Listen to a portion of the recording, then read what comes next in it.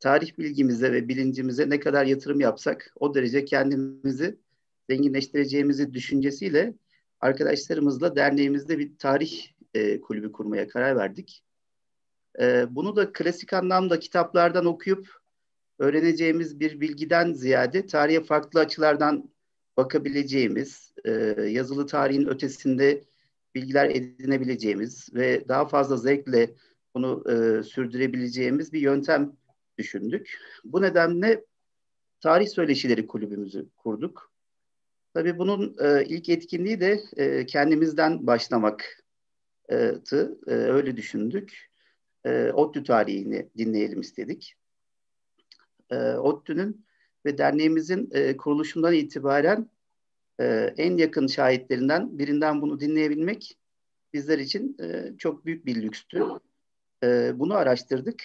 E, bunu düşününce de e, değerli hocamız e, üniversitemizin e, ilk mezunlarından, derneğimizin e, bir numaralı üyesi e, ve aynı zamanda kurucusu, e, üniversitemizden de kopmamış bir büyüğümüz, bir abimiz olarak e, Sayın Mahir Barutçu Barutçu'ya başvurduğumuzda sağ olsunlar bizi e, kırmadılar e, ve bugün söyleşimize teşrif ettiler.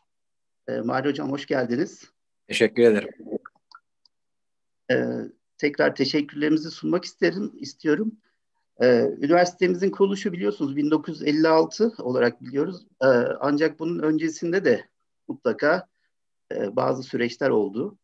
E, o günlerden başlayarak e, sadece üniversitemizin kuruluşunu değil de o günlerde Türkiye'nin, Ankara'nın durumunu, şartlarını, e, o günkü şartlarda gençlerin ideallerini, o günkü iktidarların üniversitelere bakışlarını, bakışını bize e, anlatabilir misiniz? Memnuniyetle. Öncelikle teşekkür ederim böyle bir imkanı sağladığınız için. Konu elbette ben 1957 yılında üniversiteye girdim. İlk inşaat öğrencisi, öğrencilerinden biriyim. Ama üniversitenin kuruluş aşaması, kuruluşuna giden yol 54'lerden itibaren başlıyor. Ee, bu konuda tabii bazı mehaz, bazı kaynaklara gitmek gerekliydi. Bunların bir tanesi ve en önemlisi Orta Doğu Teknik Üniversitesi yayınlarından olan Baraka'dan Kampüs'e, Türk Yüksek Öğretim Sisteminde Bir Yeniliğin Tarihi isimli kitap. Bu kitap çok önemli. Üniversitemizin baskısı. Bunun e, yazarı, müellifi diyelim. Profesör Doktor Arif Payaslıoğlu. Ancak Profesör Doktor Arif Payaslıoğlu'nu bu konuda çok önemli bilgileri götüren, hazırlayan, veren, araştırmayı, incelemeyi sonuna kadar yapan en büyük emek Danışma Kurulu Başkanı değerli arkadaşımız Profesör Doktor Ayşen Ergin'e ait.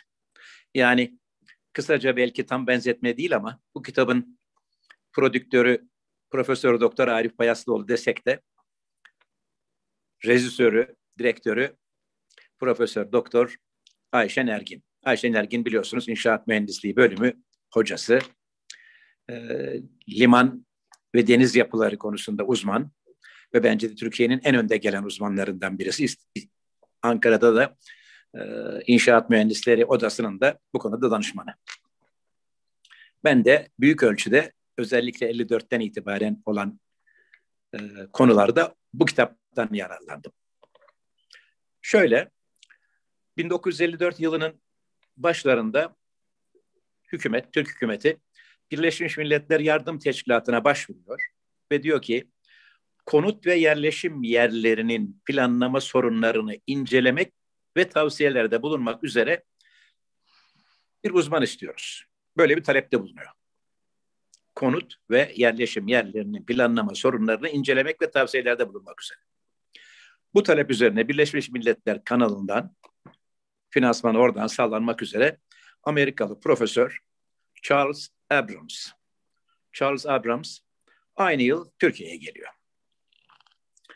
Kendisi 1 Eylül 31 Ekim tarihleri arasında Bayındırlık Bakanlığı uzmanlarından ve görevlilerinden Celal Üzer kendisine yardım ediyor resmi görevli olarak.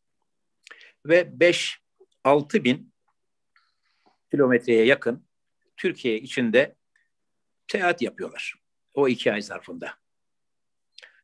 Bu sırada valilerle, belediye başkanlarıyla, diğer ilgililerle görüşüyorlar. İl, özel sektörle görüşüyorlar. Ve İstanbul ve Ankara'ya dönüşlerinde de ilgili bakanlar, eğitimciler, üst düzey yöneticiler ve iş adamları ile fikir tahaddisinde bulunuyorlar. Bunun sonucunda Profesör Abrams bir rapor yazıyor. Diyor ki Türkiye'de yeterli sayıda mimar yoktur. Şehir planlaması ise hiç olmadığını söyleyebilirim diyor. Şehir planlaması konusunda ise hiçbir çalışma yok. Ayrıca mimarlık eğitimi de bence yetersiz diyor. Mevcut üç tane eğitim müessesesinden bahsediyor. Birisi İstanbul Teknik Üniversitesi. Alt beş yıl eğitim veriyor ve yüksek mimar mühendis ünvanıyla mezun ediyor. Diğeri Güzel Sanatlar, İstanbul Güzel Sanatlar Akademisi. Ve sonuncusu İstanbul Yıldız Teknik Okulu. O da lise ondan bile öğrenci alabiliyor. Master bölümü yok. Böylece Abrams Ankara'da bir mimarlık ve şehircilik eğitimi veren bir yapının, bir müessesenin, bir okulun kurulması konusunda bir rapor veriyor ve bu zorunludur diyor.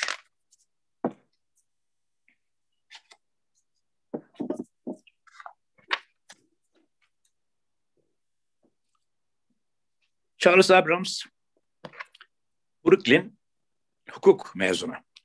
Ancak ihtisasını, çalışmalarını hep şehircilik konusunda yapmış. Çok önemli bir danışman haline gelmiş. Şehir planlaması ve konut konusunda Amerika'nın önde gelen uzmanlarından biri haline gelmiş. Ve MIT, Pennsylvania, Harvard, Columbia gibi çok önemli üniversitelerde bu konuda dersler vermiş. Dolayısıyla ODTÜ yolunda Orta Doğu Teknik Üniversitesi'nin kurulması yolunda ilk adım ondan gelmiştir diye söylenebilir. ODTÜ kuruluş öncesi ve sonrası her aşamada, her aşamada, her safhada rol alan çok değerli bir başka kişi var. Ve belki bence de aynı kanaati paylaşıyorum. Orta Doğu Teknik Üniversitesi'nin babası olarak adlandırılabilecek bir kişi bu. Bu kişi Vecdi Diker.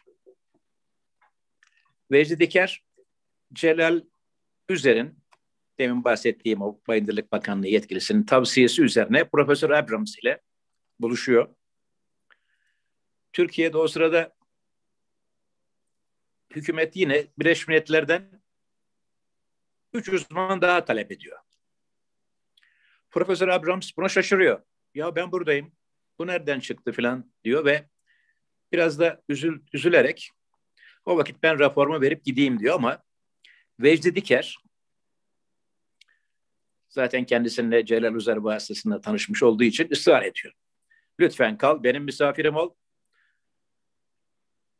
Çalışmaya devam edelim diyor.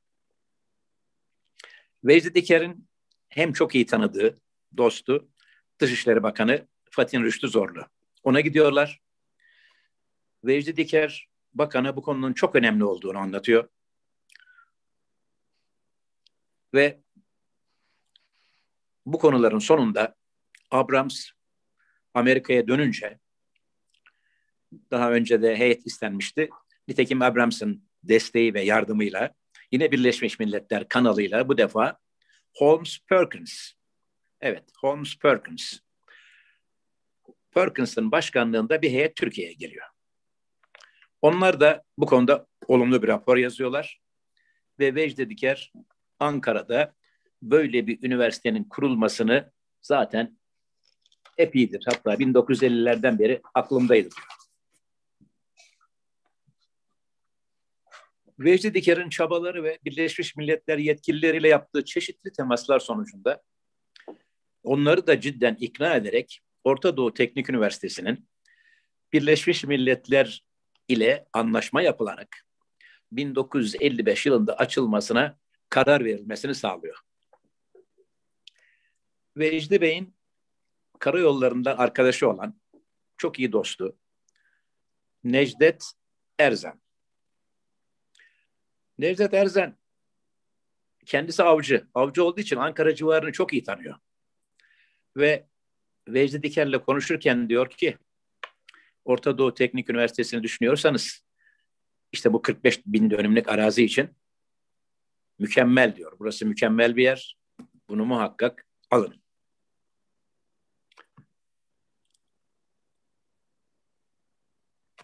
Vecdi Diker, Abrams daha önce de belirttim. Sadece bir mimarlık ve şehircilik okulu açılmasını söz konusu ederken, isterken, talep ederken Vecdi Bey kendisi bir üniversite kurulsun diyor.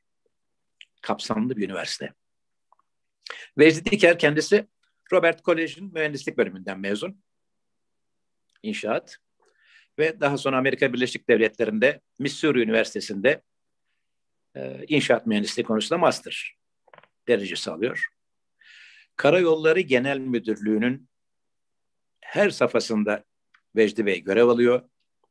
Her etapta ve Karayolları Genel Müdürlüğü'nün kurulmasında çok büyük çabası var ve nitekim genel müdürlük makamına oturuyor. 1951 yılında ise ayrılıp özel sektöre geçiyor. Çok ilginç bir inşaat mühendisi olmasına rağmen Ankara'da Türk Traktör Fabrikası'nın kuruluşuna önderlik ediyor. Türk otomotiv sanayinin kurulmasına önderlik ediyor.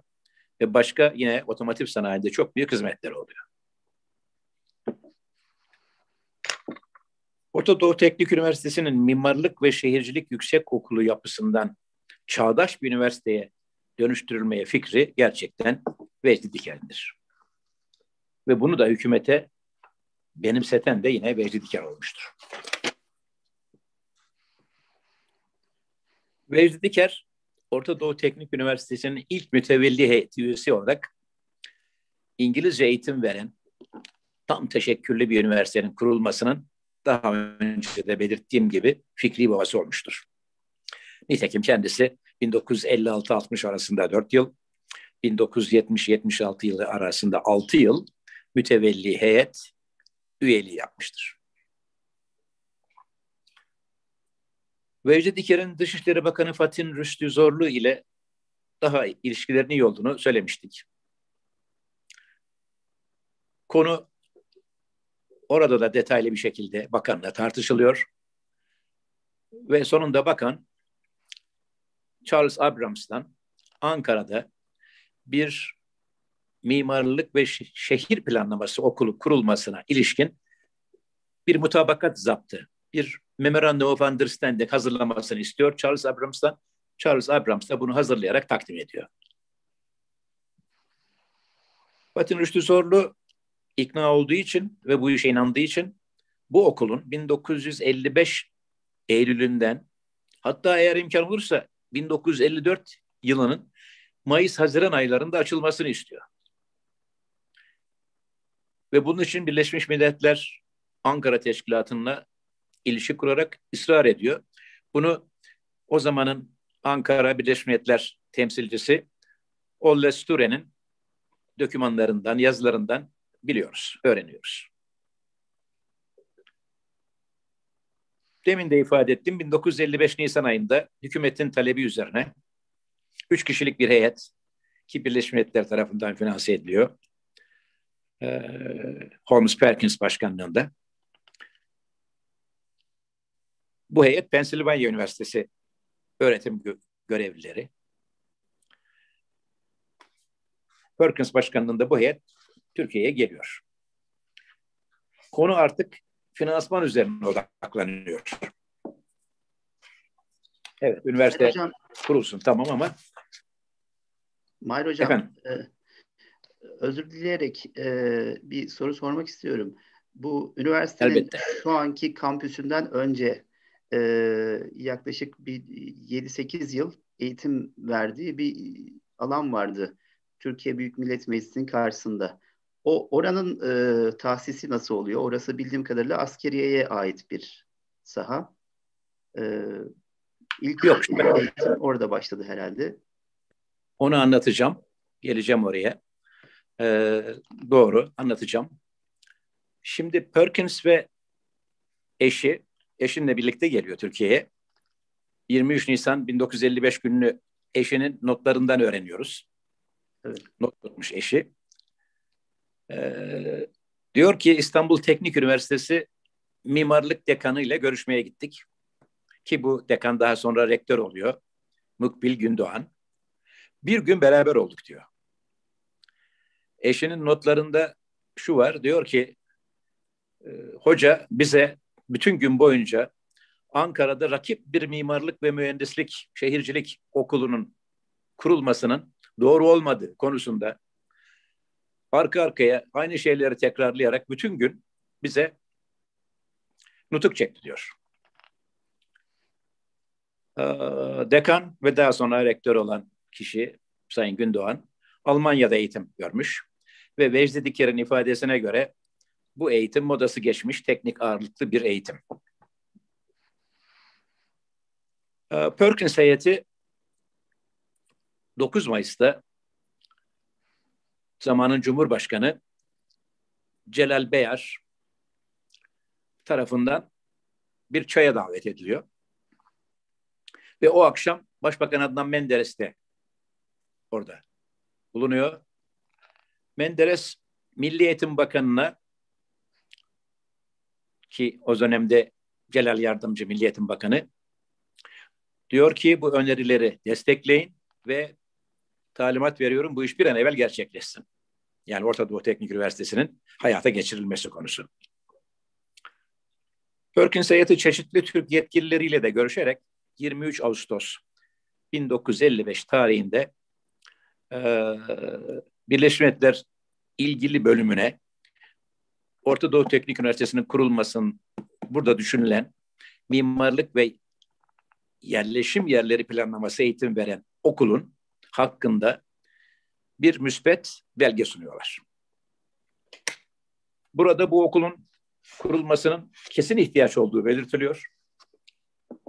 Konunun mevcut üniversitelerden bağımsız olması, ayrıca kısa süre içinde mühendislik fakültesinin de eklenmesinin yararlı olacağı, yönetimin hükümet tarafından atanacak bağımsız bir mütevelliyet tarafından yürütülmesine, adının Orta Doğu Teknik Üniversitesi olması, kampüs yeri seçilmeli en kısa zamanda ve inşaata başlanmalı. Pensilvanya Üniversitesi de gerekli desteği vermesi gerekir ve öğrencilerin de İngilizce bilmesi gerekiyor. Ayrıca diğer konuları da detaylandıran bir rapor takdim ediyor. Artık karar verilmiştir ama finansman konusu enteresan bir şekilde çözülmemiştir. Amerikan Yardım Teşkilatı FOA ve daha sonra ismi ICA oluyor. Yani International Cooperation Administration oluyor. Başta oldukça müsbet görünmesine rağmen daha sonra görüş değiştirerek bu konuda yardım yapılmasını tamamen reddediyor. Tahminen bunun nedeni nedir? Herhalde en önemli nedeni 1955 6-7 Eylül olayıdır. Muhtemelen biliyorsunuz 6-7 olayı Cumhuriyet tarihimizin en acı olaylarından biridir. Organize bir şekilde maalesef hükümet tarafından organize edilmiştir diyebilirim. Ee, o akşam her gün 25 bin civarında basan Express gazetesi, Akşam Express o akşam 300 bin basıyor ve Atatürk'ün Selanik'teki evinin bombalandığını haber veriyor. Yunanlılar tarafından. Tamamen yalan bu haber. Müthiş bir infial uyandırıyor ve maalesef çoğu çapulcu, akıl almaz bir güruh, özellikle İstiklal Caddesi'nde olmak üzere Rumların, Ermenilerin, Musevilerin dükkanlarını, evlerini yağmalayarak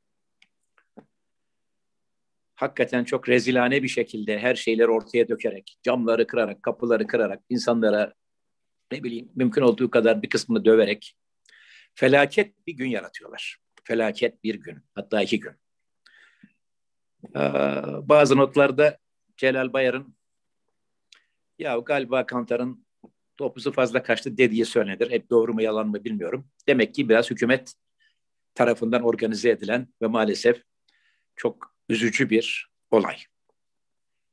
O olaydan sonra da İstanbul'da nüfusu 100 bin olan Rum nüfusu diyelim hemen hemen tamamen Türkiye'yi terk etmiştir.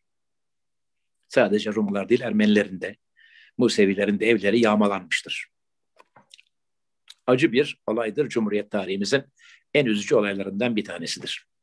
Tabii bu olaylar olunca Amerika'nın falan da dikkatini çekiyor ve sanıyorum Amerika'nın niyetsiz davranışı, finansmanı istemeyişi falan sadece bu değil. Biraz hükümetin de ondan sonraki davranışlarının da etkisi olduğunu sanıyorum. Onun üzerine geliriz birazdan. Ee, Amerika en azından hiçbir şekilde yardıma taraftar değil. Birleşmiş Milletler en azından uzman vermekte, e, burs vermekte destek veriyor. Tabii Birleşmiş Milletler'de bile olay kolay değil. Çünkü olay ortaya çıkınca Fransız hükümeti diyor ki hem İngilizce okul var niye Fransızca yok? Almanlar diyor ki Almanca niye olmasın? Hatta bunu Adnan Menderes'e başbakana söyleyince e canım Fransızlar da gelsin onlar da kursun. Almanlar da gelsin istiyorsa kursun. Efendim Ruslar gelirse ne olacak diyorlar. Düşünürüz diyor. İlginç. Şimdi tabii hükümet Birleşmiş Milletler görevlisine diyorlar ki biz ODTÜ kanunu en kısa sürede çıkaracağız. Bunu Türkiye Büyük Millet Meclisi'ne sunacağız. Ancak kanun çıkıncaya kadar kendi yetkimizi kullanarak yani Milli Eğitim Bakanlığı'nın öyle bir yetkisi var. Üniversite kuramıyor ama yani bir enstitü, bir yüksek okul kurabiliyor. Bunu mimarlık ve mühendislik enstitüsü olarak açma kararındayız diyorlar. Ayrıca proje için gerekli Türk akademik ve idari personel hazırdır diyorlar. İlk yıllar için gerekli binanın hazır olduğunu söylüyorlar. Gerekli tahsisatın da Türk hükümetinin karşılayacağını 1956 yılında açılacak okula kısa bir süreliğine de Profesör Perkins'in gelmesinin iyi olacağını belirtiyorlar. Şimdi demin sormuştunuz e, yer neresi? Üniversitede ilk olarak tabii bir sürü yerlere bakmışlar nerede başlayalım. Ve nihayet Müdafaa Caddesi'nde emekli sandığının bulunduğu bina. O bina şimdi yok. Onun yanına emekli sandığı daha büyük, çok katlı bina inşa etti. Burası böyle üç katlı bir bina.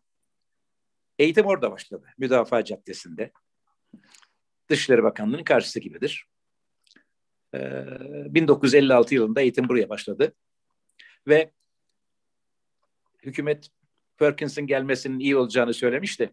Ama Perkins gelemiyor. Gelemeyince ama yine aynı üniversiteden e, değerli bir takım hocalardan Thomas Godfrey, Thomas Godfrey ve Marlin Seville isimli iki uzman hakikaten geliyor. Godfrey biz o zaman onu rektör olarak görürdük. Esasında asli görevi, ismi akademik yönetici falan gibi bir görevi var. Ee, yani Amerikalı bunlar. Birleşmiş Milletler kanalıyla ve finansmanına gelmişler. Godfrey o binanın en üst katında lojman ailesinin çocuklarına birlikte kalabiliyor. Onun bir alt katı idari bina, kayıt kabul. Giriş katında da dersler yapılıyor. Yani 56'da böyle. Nitekim 57'de biz geldiğimizde de inşaat açıldığında biz de bir süreliğine böyle bir 15-20 gün orada eğitim yaptık.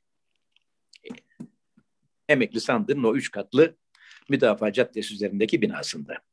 Ama daha sonra hemen sonra şu anda meclisin arkasında bulunan askeriyeye ait değil. Türkiye demin söyleyince Türkiye Büyük Millet Meclisi'ne ait. Türkiye Büyük Millet Meclisi'ne ait idari binalar, garaj, ısı santralı ve yan tesisleri bunlar hepsi Türkiye Büyük Millet Meclisi'ne ait. Bize oraları verdiler. Yani o oraları bize tahsis ettiler. Orta Doğu Teknik Üniversitesi'nin eğitimi için. Ben, ben orayı e, askeriyenin sınırları içerisinde diye e, öyle hani yoldan geçerken öyle gibi hissederek herhalde öyle düşündük. Çünkü etrafında da hani ya, yan tarafında falan da askeri birlikler var. Deniz kuvvetlerinden sonra bir denizcilik müzesi var galiba. Onunla bitişik. Arka tarafında da bir e, yine askeri bir birlik var. E, görünce o şekilde düşündüm ama mutlaka tabii ki doğrusu budur.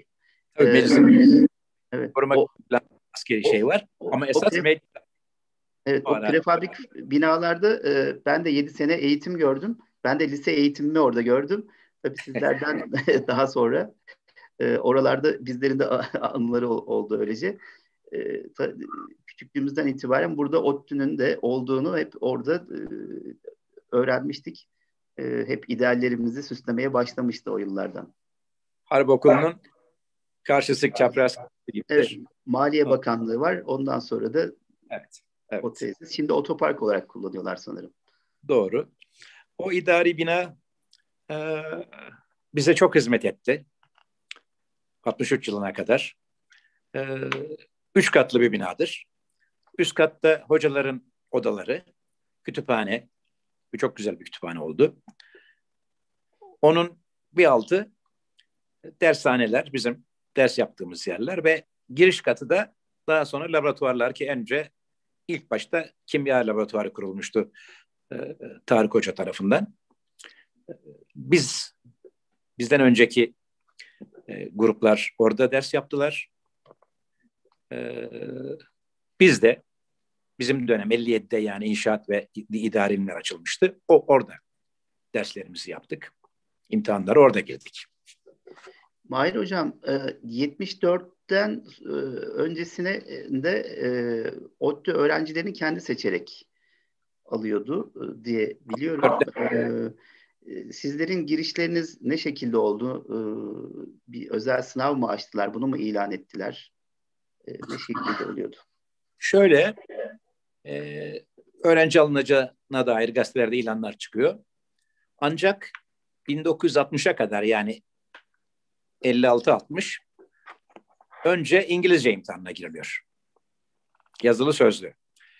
Bundan geçenler ancak diğer imtihanlara girme hakkına sahip oluyor ve üniversiteye girme hakkına sahip oluyor. Yani eğer lisandan geçemiyorsanız maalesef giremiyorsunuz. Maalesef ne kadar böyleydi. Dolayısıyla 1960'a kadar doğru gerçekten ağırlıklı olarak daha çok Tarsus Koleji, Ankara Türk Eğitim Derneği Koleji, İzmir Koleji, İzmir Kız Koleji de özellikle Amerikan Koleji, İstanbul'da Üsküdar Amerikan Koleji, Robert Kolej, e, İngiliz High School filan gibi daha çok İngiliz eğitim veren yerlerin yani. öğrencileri girmek durumunda oldu. Bizler ki ben de lise mezunuyum. E, yani yüzde on civarındaydık, yüzde on on beş civarındaydık biraz lisana meraklı olan arkadaşlar olarak girme imkanına sahip olduk. Ancak 1960'tan sonra yani Türk rektörler geldikten sonra dediler ki yani bu biraz yanlış oluyor. Anadolu çocukları da girmeli imtihanlara. Dolayısıyla imtihana girilir. Lisana yine girilir.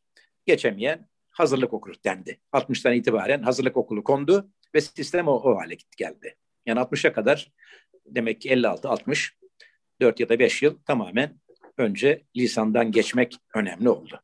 Evet. Ee, şimdi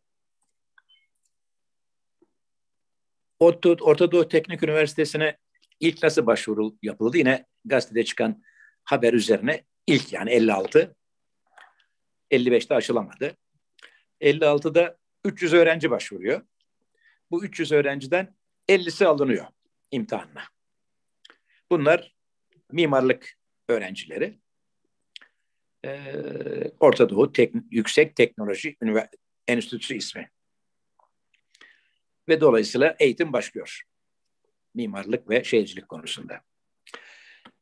Godfrey demin de ifade ettim. Biz onu rektör gibi görürdük ama yani işte idari yönetici gibi.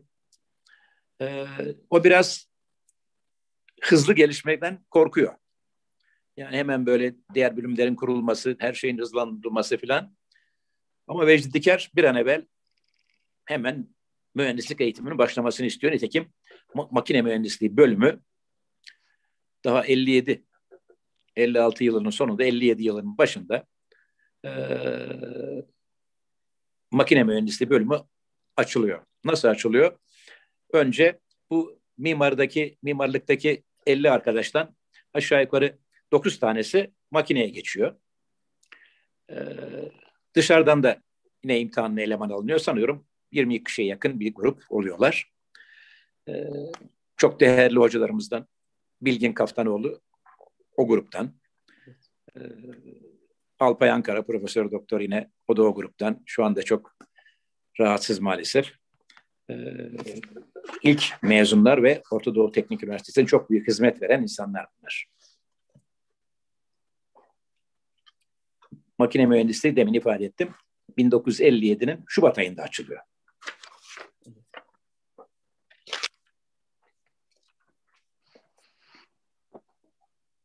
Kuruluş yılları adlandırıyoruz tabii bunları. Ee, iktidarla olan ilişkiler. Şimdi ilk yıllarda bizim üniversitemize Gece Kondu Üniversitesi dendiğini hatırlıyorum. Ne burası işte yani kaç talebesi var? 50 kişi, 100 kişi bir şey nedir? İngilizce eğitim veriyor. Hatta bazen hükümetin işte özellikle üst kırım yani e, Fevzioğlu şeyin e, Fatih Rüştü'nün Menderes'in filan da etkisi olduğu için müspet yönde demokratların üniversitesi filan diye de sözler edildiğini hatırlıyoruz. Dönem ilginç bir dönem. Demokrat Parti 1950'de seçim kazanıyor. İlk demokratik ilk demokratik seçim diyelim 1946'da yapılıyor ama ne kadar demokratik? Şöyle çok ilginç. Açık oy gizli tasnif. Açık oy gizli tasnif. Çok büyük sıkıntılar oluyor. Tabii. Ve yani e, şüphenin azamisi üzerine düşüyor.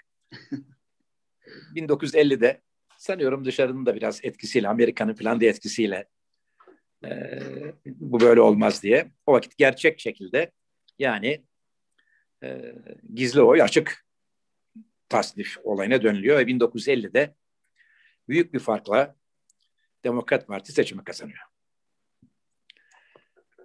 1950'den sonra 54'e kadar Demokrat Parti geçmişten de tecrübe edinerek özellikle köylüye yönelik hizmetleri artırıyor.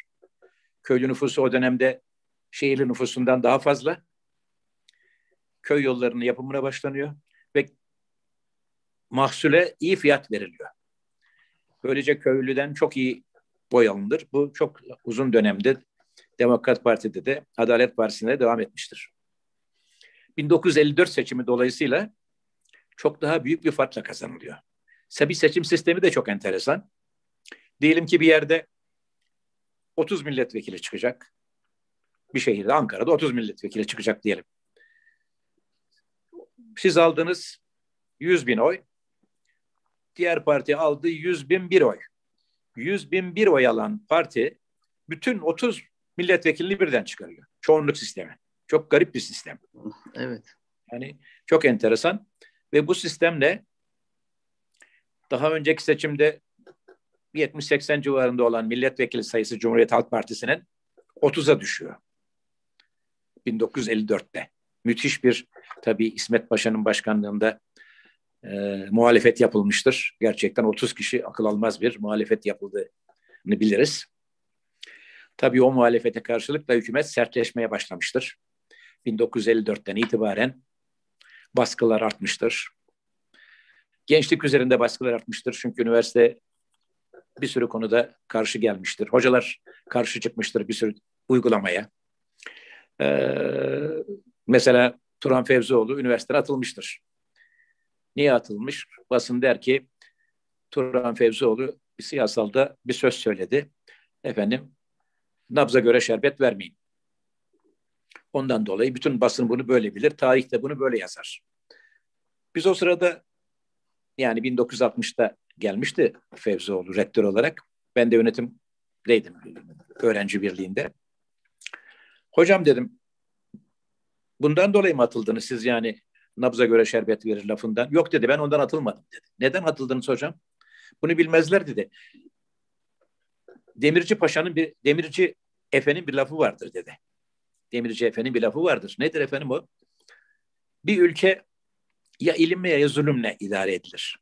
İlim olmayan yerde zulüm vardır. Ben de o lafı söyledim diye ben ondan atıldım dedi. Ee, üniversite hocalarından ters bir reaksiyon görünce Menderes bunlar kara cübbeliler diyor. Efendim orduda biraz hareket var diyorlar. Ne yapalım ben orduyu gerekirse asubaylarla idare ederim diyor. O üniversitelerin ben gerekirse çanını ot tıkarım diyor. Üniversitelerden hocalara da atılmaya başlanıyor. Rektörler bazen yerde sürükleniyor. Ee, İsmet Paşa'ya çok kötü muameleler yapılıyor. Başına taş atılıyor. Kongre yapılmasına müsaade edilmiyor. Meydan verilmiyor. Miting yaptırtılmıyor. Atatürk e, heykelleri yıkılıyor. Konya'da yeşil bayrakla ortaya çıkılıyor filan. Ee, bir garip dönem Demokrat Parti'nin 54 sonrası. Kendine biraz fazla güvenen ama e, kamuoyunda e, aydın gruplar üzerinde sıkıntı yaratan bir düzen ve dönem.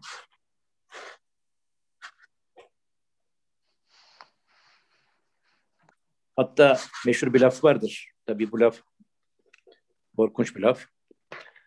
Grupta Menderes grup çok o sırada kızıyor bazı şeylere ve bütün bakanları istifa ettirtiyor. Yani Menderes zor kurtuluyor.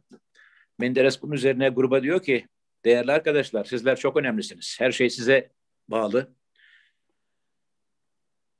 Hatta siz isterseniz hilafeti bile getirebilirsiniz diyor.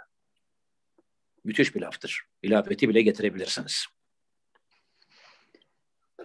Eh, durum böyle. Yani o zamanki siyasi yapım yapıda çok kargaşa. Daha sonra daha da kargaşa haline geldi. Hükümet içindeki bu kargaşa tabii ve bu bakanların bir kısmının istifası filan e, bu siyasal sıkıntılar 1955 dedik açılmasına niyetleniliyordu. 55'te açılamadı. Kuruluş kanunu da gecikti bu yüzden. ve mecburen Milliyetin Bakanlığı'nın yetkisine dayanılarak yüksek okul niteliğinde Yüksek Teknoloji Enstitüsü olarak yaşama başladı. Biz o zaman birazcık tabii bu işe kızardık. Çünkü Türkiye'de enstitü lafı deyince kız, kız, kız öğretmen enstitüsü, nakış dikiş falan yapabilir. Ama biliyorsunuz MIT'de Massachusetts Institute of Technology yani e, falan sorunca da canım niye korkuyorsunuz? Yani işte enstitü, bu laf öyle şey değil derlerdi. Orta Doğu Teknik Üniversitesi'nin kuruluş ve hazırlıkları hakkında kanun nitekim biraz gecikerek 1 Kasım 1956'da Bakanlar Kurulu imzalıyor. 16 Kasım'da Türkiye Büyük Millet Meclisi'ne sunuluyor.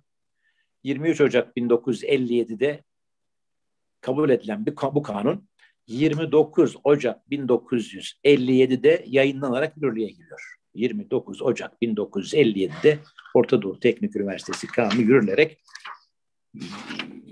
şeye giriyor. Gerçekleşiyor ama yani bu kanuna rağmen isim değişti mi? Değişmedi, onu biliyoruz. Çünkü o kanun böyle bir sayfalık bir kanun. Yani bir üniversite kanunu niteliğinin biraz uzağında. isim getiriyor sadece. Orta Doğu Teknik Üniversitesi'nin müfredatı tamamen Pensilvanya Üniversitesi müfredatında paralel olarak alınmıştır. Aynısıdır ve İngilizcedir. Şimdi bu 6887 sayılı 29 Ocak'ta 1957'de yürürlüğe giren kanuna rağmen dediğim gibi hala yüksek teknoloji üniversitesi veya yüksek teknoloji enstitüsü falan yani üniversiteye tam bir dönüşmüş müydü? Hayır. Nitekim bu kanun 1 Mart 1960 tarihinde yürürlükten kaldırılıyor ve yerine yine o tarihte bu sefer gerçekten bir üniversite kanunu yani Orta Doğu Teknik Üniversitesi'ni her şeyinle hocalarıyla, yönetimiyle, mütevelli heyetiyle, maaşlarıyla, ödemeleriyle, e, bütçesiyle, e, çalışanlarıyla, e, gerekli bütün idari yapısıyla tam teşkilatlı bir üniversite kanunu o zaman çıkıyor. 1961 Mart'ta 1960'da bu öbür kanunların kaldırılması sonucunda. Orta Doğu Teknik Üniversitesi hayat bulmuş. Bulmasına da o dönemde yani 56, 57 hatta ondan sonraki 60'a kadarki dönemde mevcut Türkiye'deki üniversiteler nasıl bakıyor Orta Doğu Teknik Üniversitesi'ne? Son derece olumsuz bakıyor. Bunu kesin olarak söyleyebilirim. Sadece diğer üniversiteler değil. Devlet katında da ters bakış var. Yani hükümetin dediğim gibi belki üst kademesi hariç başbakanı, başbakanı falan ne bu filan onlarda da bazı milliyetçiliklerle falan ters bakılıyor. Dışişleri Bakanlığı çok ters bakıyor mesela. Bakan Fatih Rüştü Zorlu bu işin ittiricisi çok müspet olmasına rağmen mesela Amerika'da New York'ta Birleşmiş Milletler'deki dışişleri temsilcilerimiz gidip temas yaparken hiç yardım etmiyorlar bizimkilere. Çok ilginç. Bir kıskançlık var. Mülkiyenin yerini mi alıyorsunuz falan gibi laflar var. Bütün bunlara rağmen üniversite sapasağlam devam ediyor. Tabii açıkça söylemek gerekirse bu sistem mevcut diğer üniversite sistemlerin tamamen aykırı. Dili İngilizce. Adı bir kere o sırada gerçek olmamasına rağmen Amerikan Üniversitesi'ne çıkmış. Amerikan Üniversitesi deniyor. E yapı tabii o, o zamanki yapı Demokrat Parti o ters bakıyor bu işe yani ne oluyor ya tamam Menderes Bayar, Fatih Rüştü falan üst kademe çok olumlu ama partinin alt kademesi çok ters bakıyor. Burada bu işi önleyen en önemli kişi yine o partinin Antalya milletvekili ve daha sonra bizim Orta Doğu'nun mütevelliyet üyesi Ahmet Tokuş'tur. Ahmet Tokuş ölümüne mücadele ediyor partideki arkadaşlarıyla. Herkesle burası çok burası mükemmel bir müessesedir. Onun çok büyük hakikaten Orta Doğu'ya çok büyük yararı olmuştur. Sonra da mütevelliyette de görev almıştır. Sonra da bakanlık da yapmıştır. Biliyorsunuz Orta Doğu Teknik Üniversitesi'nin bütün bu kanunları, her şeyi 1981 yılında YÖK kanunu ile ortadan kaldırılıyor.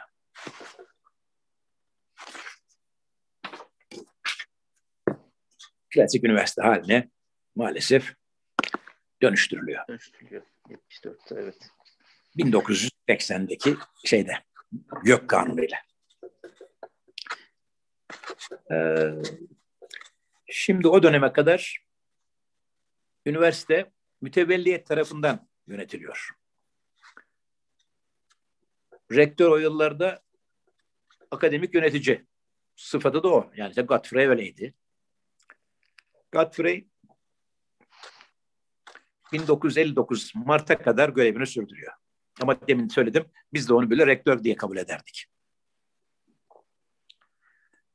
Godfrey'den sonra 1959 Mart'ında Texas Üniversitesi'nden emekli mühendislik dekanı Woolrich danışman rektör sıfatıyla ve yine UNESCO yani yine Birleşmiş Milletler kanalıyla üniversitemize geliyor. Woolrich 1959 yaz sonunda istifa ediyor. Daha sonra danışmanlık görevi yine bir Amerikalıya, yine Birleşmiş Milletler kanalıyla Edwin Birdle Birdle Mart 1960'da geliyor. Ağustos 1960'da da biliyorsunuz Turan Fevzioğlu rektör oluyor. Yani 1960 27 Mayıs ihtilalinden sonra ilk Türk rektör Turan Fevzioğlu. Turan Fevzioğlu Ağustos 60'da o zaman gazetelerde siyasetten bir yıldız kaydı. Siyasetten bir yıldız kaydı denirdi tekrar akademiye döndü dendi. Döndü ama beş ay sürdü. Ee, ben de o sırada yine talebe birliğindeydim. Rahmetli Yücel Özden falan hep beraber giderdik. Her hafta orada rektörle oturup sorunları tartışırdık. O bizi kabul ederdi. Abi tek şey cebinden sigara paketini çıkarır. Sorunları sigara paketinin üzerine yazardı. Biz toplantıdan çıktıktan sonra derdik ki sigarayla beraber o da bizim notlara da atılıyor herhalde derdik. Hocam 147'ler olayıyla herhalde değil mi? Ee, Turan Hoca'nın, Turan Feyzioğlu'nun istifa kararı. O, onun Şöyle, şimdi Ağustos 1960'ta geliyor. Arkadan o zaman Milli Birlik Komitesi meşhur 147'ler yani üniversitelerden bir takım profesörlerin işine son veriyor. Emekli ediyor. Daha doğrusu emekli ediyor. Onun üzerine hemen Fevzioğlu da bir ay sonra istifa kararı veriyor. Bunu protesto etmek için. Protesto Fakat Milli Komitesi bunu kabul etmiyor. Ee, bir şekilde onu ikna ediyorlar. Dolayısıyla 5 e, ay kadar kalıyor. Yani 11 e, Ocak 1961'e kadar kalıyor. 11 Ocak 1961'de istifa ediyor ama siyasete girmek için istifa ediyor. Tekrar yıldız kaydı denilen yıldız tekrar siyasete yıldız olarak dönüyor. Bu ee, arada geçici herhalde Seha Meray var, Uğur Ersoy var. O, onlar geçici rektörlük yapıyor. Uğur Ersoy arada tabii arada böyle günler olduğu için bir ay, 15 gün, 20 gün falan hep Uğur Ersoy hocamız rektör vekili olarak görev aldı. Doğru. Vekil olarak, evet. Önerme hocamız. Ee, 11 Ocak'ta Fevzioğlu istifa ediyor. 22 Şubat'ta Seha Meray. Yani demek ki arada bir, bir ay 10 gün var. İşte o sırada Uğur Ersoy falan hakikaten e, rektör vekili olarak görev üstleniyorlar. Seha Meray da Mülkiye'den geliyor. E, o da profesör, rektör oluyor. Seha Meray da 21 Haziran'da istifa ediyor. Yani e, neredeyse 3 ay sonra ama Milli Birlik onu kabul etmiyor hemen. Dolayısıyla 5 Ağustos'ta kabul ediliyor. 22 Şubat'ta gelmiş oluyor. 5 Ağustos'ta ayrılmış oluyor. O da işte 5-6 ay görev yapmış oluyor. 20 Kasım 61'de de 20 Kasım 61'de de yine arada dikkat ediyorsanız bir süre var. Yine arada işte Uğur Ersoy ve diğerleri vekalet ediyor. 20 Kasım 1961'de de Kemal Kurdaş rektör oluyor. Arada herhalde Arif Payaslıoğlu da var. Doğru, doğru. doğru. O da galiba şey yapmış. Evet. Sonrasında Kemal Hoca'ya. Evet. Evet, evet. Kemal Hoca direkt yeni kampüse mi başlamıştı hocam? Hani o yeni kampüsün kurulma süreci ne şekilde oldu? O eski binalardan Geldiğinde henüz 1960. Öyle mi? Evet. Yani 1960'da henüz bir şeyler yok. Evet. Yani yer alınmış. 45 bin dönüm arazi alınmış. Bunun bir kısmı e, köylülerden bir kısmı şeyden e, hazinenin tahsisi ama henüz eğitim şeyde e, bizim söylediğimiz barakalarda ve idari binada 63'e kadar 63'ün evet. 63'ün hatta yani sonuna kadar diyebilirim. Kemal Hoca'nın gelişi de 62'yi falan mı buluyor hocam? Nasıl? Ke- Kemal Hoca'nın gelişi 62'yi falan buluyor sanırım. 61 sonu mu oluyor? Ee, Kemal Hoca'nın gelişi 20 Kasım 1961. 61. 20 Kasım 61. 61. Evet, 62. 20, 20 Kasım 1961.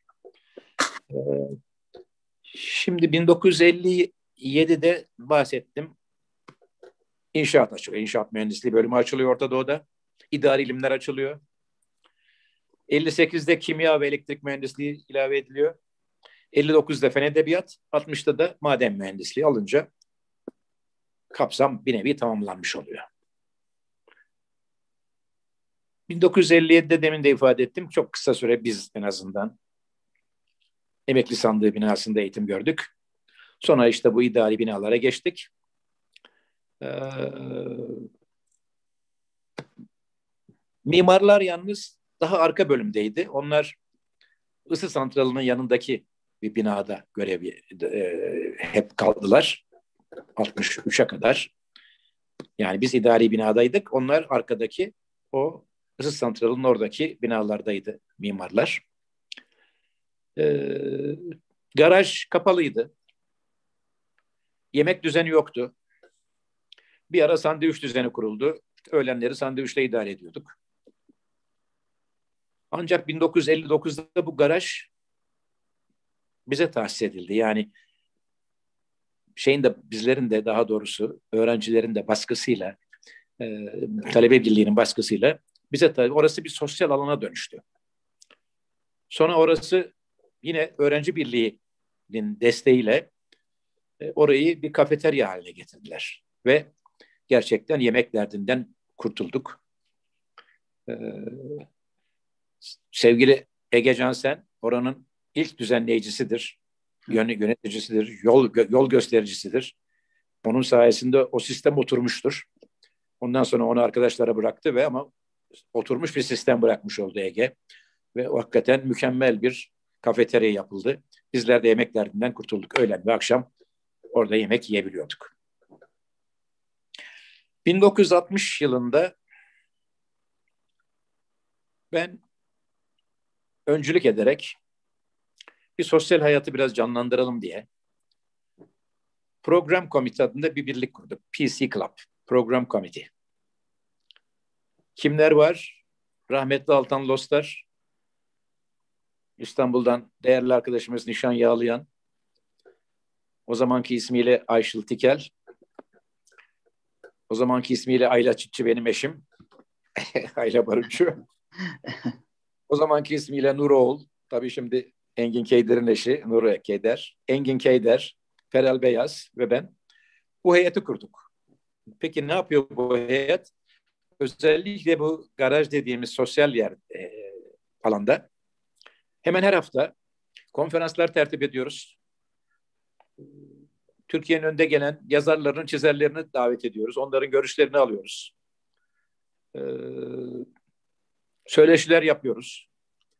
Şiir günleri yapıyoruz ve danslı partiler de yapıyoruz. Yani orası biz hakikaten biz oraya bir e, üniversiteye sosyal hayatı canlandırıcı bir şey getirmiş olduk bu kulüp sayesinde.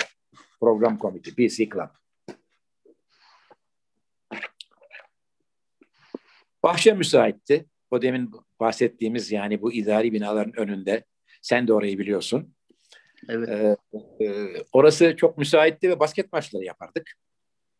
Milli takımda bile oynayan çok oyuncularımız vardı. Rahmetli Rüştü Yüce. Rüştü Yüce, evet.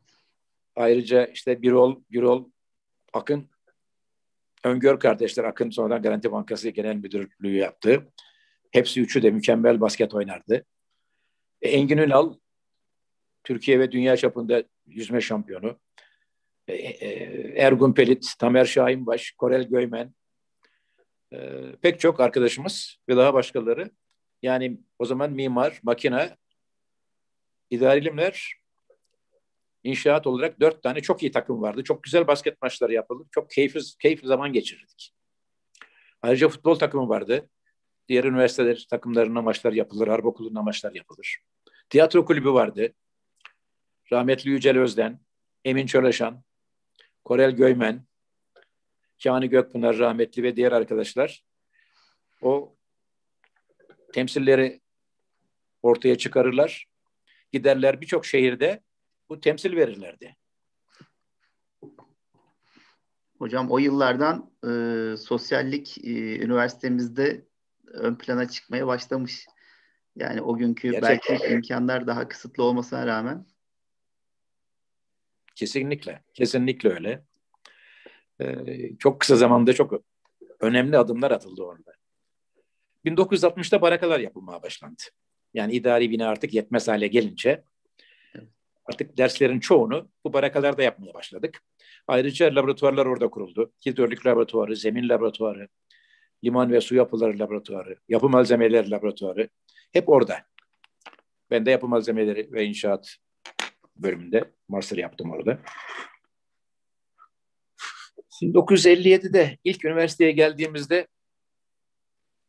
açıkçası ben 3 ay otelde kaldım. Çünkü kalacak bir yer yok.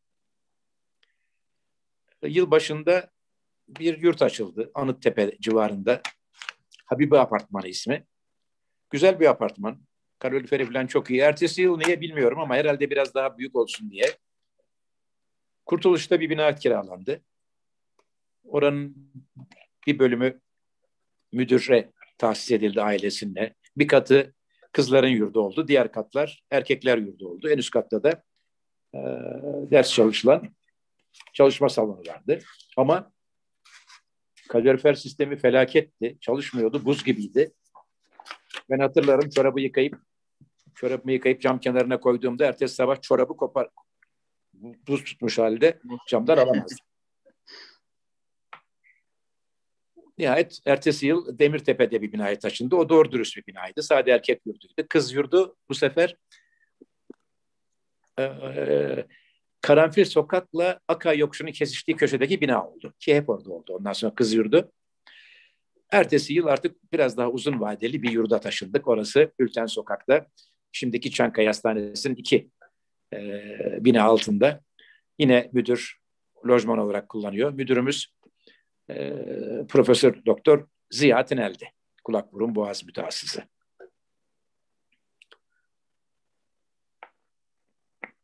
Öğrenci Birliği nasıl kuruldu? İlk defa 1958'de öğrenci birliği ama öğrenci birliği demeyelim bir kişi başkan olarak dedi ki ben başkan olabilirim. Peki dedik ol.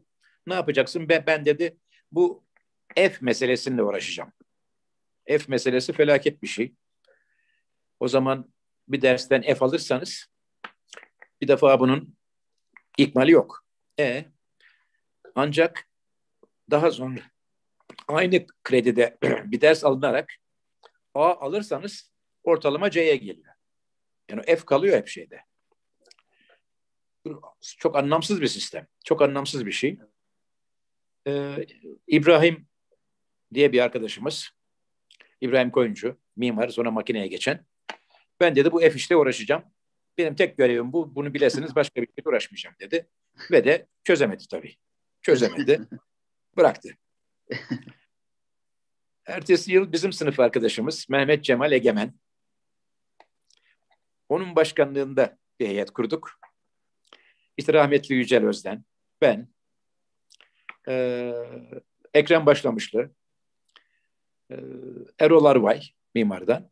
Öyle bir heyet yani bu sefer artık bir başkan ve genel sekreteri var, başkan yardımcısı var. Öyle bir heyet kurduk. Ama bu bizim de kafamızdaki en önemli şey bu ev meselesi. Ee, bunu nasıl çözeceğiz?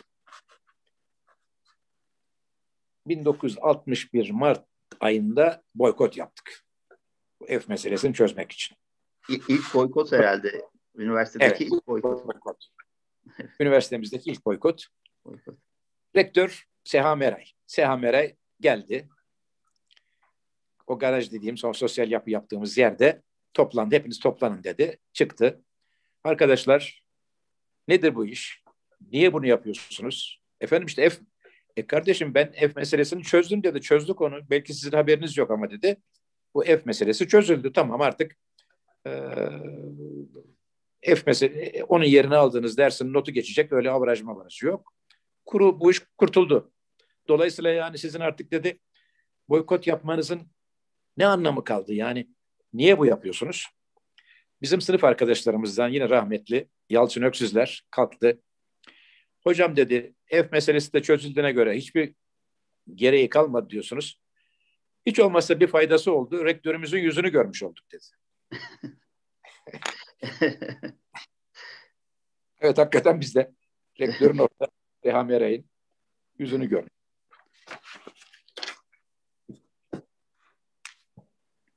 Böylece ilk ilk eylemde, ilk e, boykotta sonuç vermiş evet. oldu hocam yani. Evet. Başarıyla sonuçlandı. Kesin. Ee, şimdi daha önce de bahsettim. Orta Doğu Teknik Üniversitesi mütevelli heyet tarafından yönetiliyor. Ve bunların yani bu mütevelli heyetin hepsi oradaki görev alanlar çok değerli kişiler. Devlette müsteşar olarak, genel müdür olarak görev yapan bakan var, e, milletvekili var, iş adamları var. E, ve hocaların ve çalışanların iş akti o zaman özel hukuk hükümlerine göre mukaveleyle çalışılıyor. Bir defa şeyler para almıyor. Mütevelliyet üyeleri para almıyor. Ama çalışanlar, kocalar, herkes işçi sigortalarına tabi ve her yıl mukavele yenileniyor. Yani o zaman mali yıl 1 Mart'ta başlıyor. Eğer 1 Mart'ta mukaveleniz yenilenmiyorsa bittiniz. Çalışan olsun, hoca olsun. Yani bunun getirdiği bir dinamizm var ama tabii biraz sıkıntı da var. Tabii.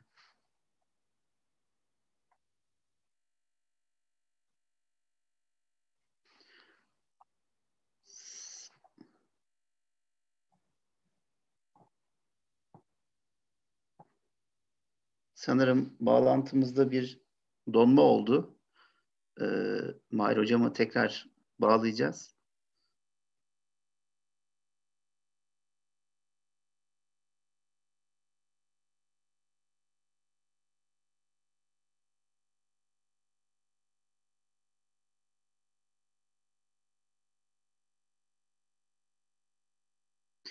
Ee, sayın seyirciler, şu anda teknik bir sorun yaşıyoruz. Kısa zamanda çözmeye uğraşıyoruz. Umarım bekletmeyeceğiz fazla sizi. Heyecanlı yerinde kesildi bağlantımız.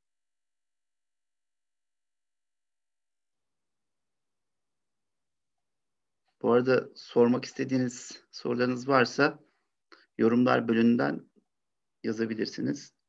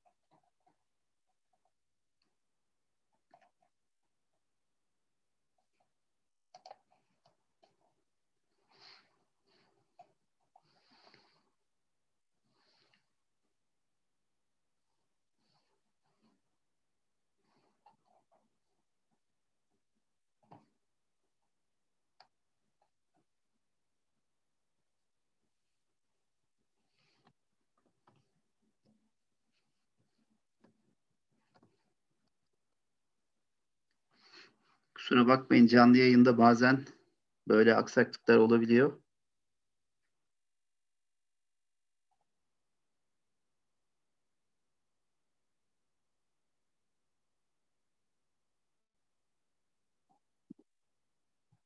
Yavaş yavaş konumuz kampüsümüze doğru geliyordu. Mahir Hocam'ın orada da anlatacakları güzel anılar, hikayeler vardı. Vardır diye düşünüyorum daha doğrusu.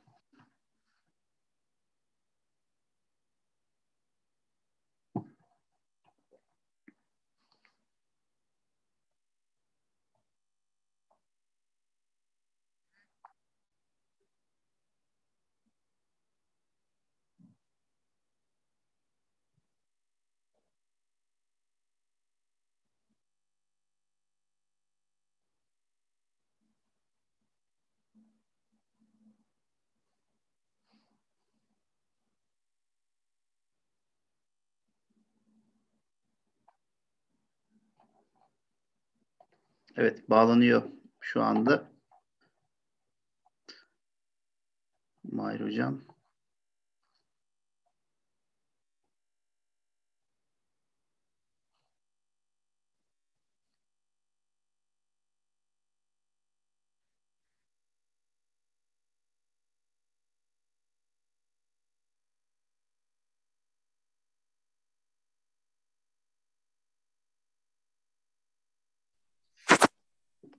Evet. Nasıl? Geldiniz hocam. Gayet tamam. güzel. Hoş geldiniz Hoş. tekrardan. Bir kopukluk oldu.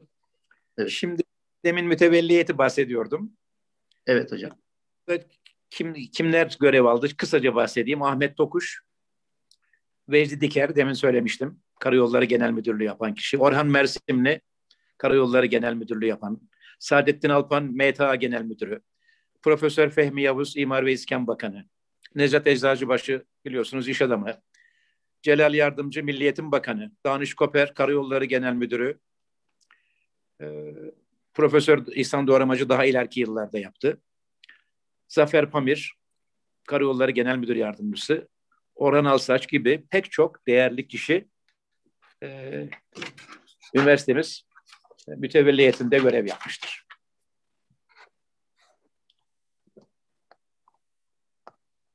Bahsetmiştim 59 yılında Fen Edebiyat Fakültesi kurulduğunda başta 5 Türk öğrenci var, 13 tane yabancı öğrenci var. İlginç. Ertesi yıl 67 Türk, 16 tane yabancı öğrenci var. Ee,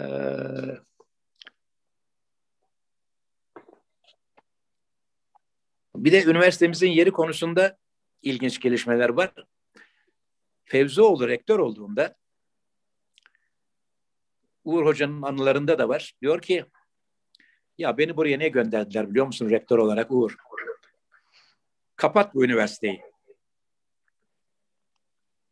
Kafa, bu kafayla geldim ama diyor. Gördüm ki her şey çok mükemmel. Ben şimdi bu üniversitenin en kuvvetli müdafi olacağım.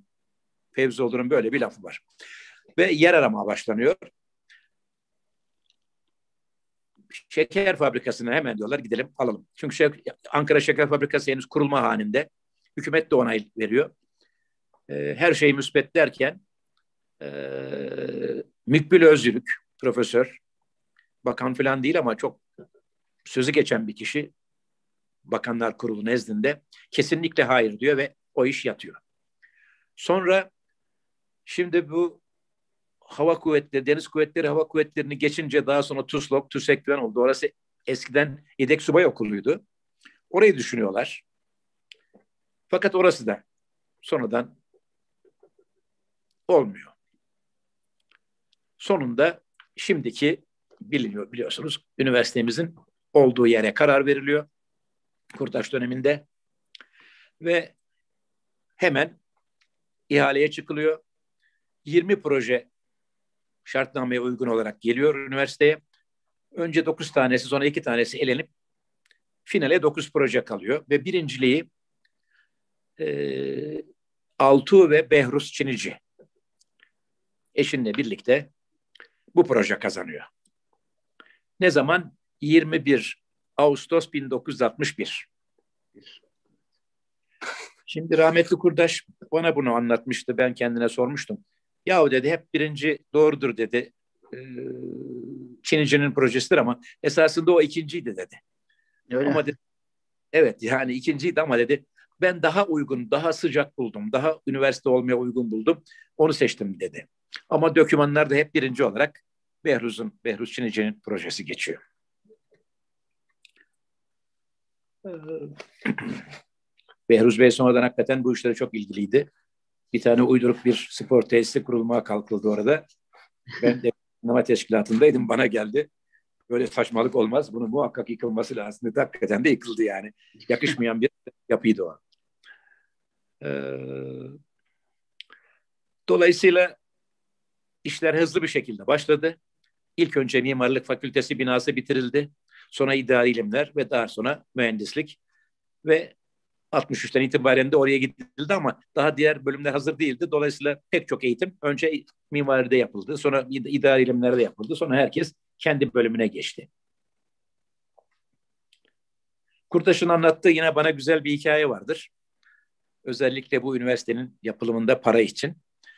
E, biliyorsunuz Kurdaş da Maliye Bakanıydı ihtilalden sonra. Sonra işte rektör oldu. E, hükümet kurulduğunda da e, Ekrem Alican ki çok iyi arkadaşı e, Yeni Türkiye Partisi'nde başkanı olarak Maliye Bakanı. Kurdaş diyor ki ben diyor uğrardım şeye e, Alican'a. Gel Alican bizim orada bir kahve içelim. Rektörlükte. Tam rektörlüğün önüne gelince ya Alican boş ver şimdi rektör ben seni şeye götüreyim. Şu yeni kampüse götüreyim. Bir gel gör. Arabayı atlıyor, atlar, atlarız. Şu anda üniversiteye gideriz. Tabii çukur kazılmış, demirler konmuş, her şeye konmuş. Ya Alican görüyorsun. Şurası bitmek üzere ama para kalmadı. Bir 50-60 milyon şuraya ver derim diyor. Ve hakikaten böyle, böyle böyle para alarak üniversiteyi çok hızlı bir şekilde e, inşaatı yaptık diyor.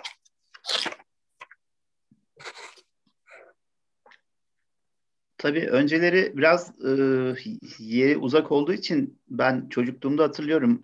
Milli Kütüphane'den ötesi neredeyse yoktu yani. Balgat bile çok farklı bir yerde. Onun için ulaşım falan nasıl yapıyordunuz hocam? Herhalde bu son bizim bildiğimiz o mavi servisler henüz yoktu o zamanlar. Tabii ben açıkçası hiç yeni bölümde okumadım. Hiç. Evet. Yani e, hep eski master'ımız değil. Eski yaptık. Ondan sonra işte meşhur otobüsler, kırmızı otobüs okudum. Ramazan. Ondan sonra e, tabii uzak, hakikaten uzak. Uzaklığı şöyle. E, jeoloji hocamız vardı. Jeoloji hocamız bizi ara sıra otobüse bindirir, oraya götürür. Üniversitenin o zaman daha üniversite binası yok. Onun karşısındaki tepelere çıkardık. Evet. Orada kabuk arardık. Nitekim kabukları bulurduk. Yani deniz kabukları. Deniz, evet. Yani milyonlarca yıl evvel bütün dünya demek ki deniz. Tabii. Yusuf o da Allah'ın dağı yani. Evet. Şimdi tabii mali destek nasıl? ABD kaynağı demin de bahsettim sağlanamadı. Birleşmiş Milletler evet veriyor ama bakın Birleşmiş Milletler 1961 mali yılında ne kadar vermiş? 5.7 milyon lira. Tabii o zamanki parayla. Türk hükümeti 42.6 milyon lira. Yani Türk hükümeti yüzde 87'sini karşılamış 1961 mali yılında üniversite bütçesinin. Kurdaş 22 Kasım 61'de göreve başladığını söyledim. Daha iki hafta geçmeden ağaç dikme bayramını başlatıyor ve kısa sürede 15 milyon ağaç dikiliyor.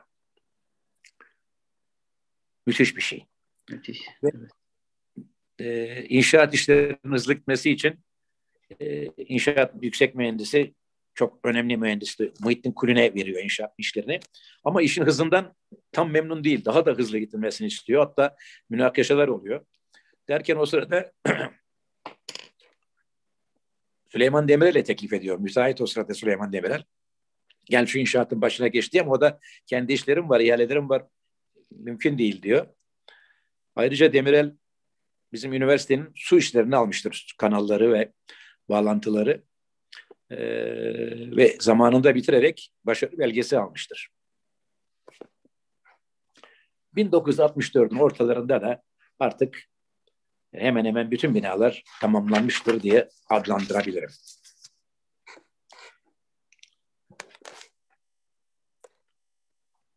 Mütevelliyette yine 1956'dan itibaren mütevelliyette bu insanlar var. Celal Yardımcı, Milliyetin Bakanı, Vecdi Diker, Ahmet Tokuş, Mithat Yenen, Adil Yener, Zafer Pamir. 5 ee, Kasım 59'da Bakanlar Kurulu kararıyla Başbakan Adnan Menderes ve Ziyad Ebu Ziya da dahil ediliyor mütevelliyete. İlgi. Daha sonra 25 Nisan 1960'ta Vehbi Koç ve Ahmet Dallı da. Vehbi Koç sonra 27 Mayıs itibarinde istifa ediyor. 60'ta 60'tan sonraki mütevelliyette İmar İskan Bakanı Profesör Fehmi Yavuz var. Orhan Alsaç var. Necat Eczacıbaşı var. Sami Küçük Albay, Milli Birlik Komitesi üyesi. Ee, Mustafa Santur, İstanbul Teknik Üniversitesi'nden profesör. Seha Meray. Orhan Mersinli başkanlık yapıyor mütevelliyete. Ee, Sadettin Alpay, META Genel Müdürü. Muhsin Özbay gibi çok değerli isimler var. Ve 1963 yılında 3 yıllık heyet buydu. 3 yıl için tekrar ayrılanlar var. Onların yerine de Bülent Yazıcı İş Bankası Genel Müdürü, Cahit Talas profesör siyasal bilgilerden. Danış Koper ki işte mütevelliyet başkanı oluyor. Ereli Demirçelik başkanı. Ve Turan Güneş geliyor. Yeni üç yıl için. İlginç olan Cahit Talas mütevelliyet üyesi olmasına rağmen ODTÜ konusunda özellikle İngilizce eğitim konusunda hükümete de menfi bir rapor veriyor. 63 bütçe müzakerelerinde Plan Bütçe Komisyonu'nda birçok Demokrat Parti milletvekili menfi görüş serdediyor. Burada bir şey size anlatayım. Hep bu tabii o yıllarda oldu. Lisan niye İngilizce? Ve en büyük tenkit de Demokrat Parti'den gelen yabancı öğrenciler Türkçe öğrenmiyor. Yani e, bizim kültürümüz verilmiyor. Dolayısıyla İngilizce eğitim olmanın bir faydası yok deniyordu. Kurdaş e, meclise gidiyor. Plan Bütçe Komisyonu'na. Yanına bir arkadaşı alıyor.